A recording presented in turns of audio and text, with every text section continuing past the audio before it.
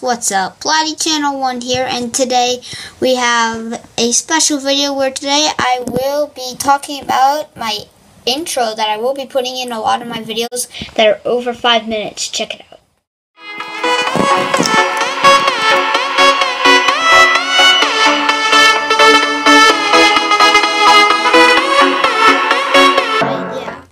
Really cool. So as I said, I'll be putting them in videos over five minutes, or at least I'll be trying to.